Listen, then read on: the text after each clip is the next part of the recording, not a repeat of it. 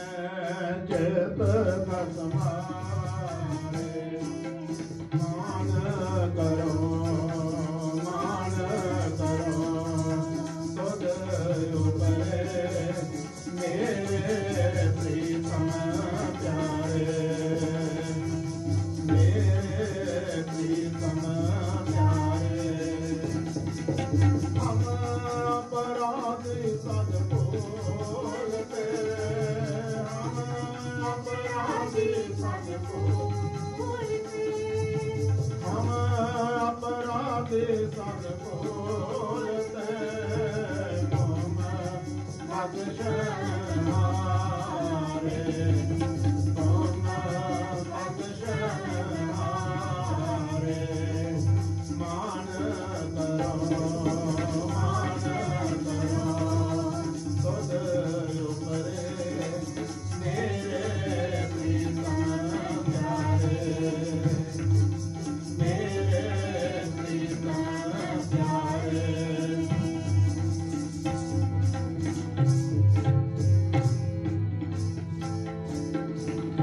Amen.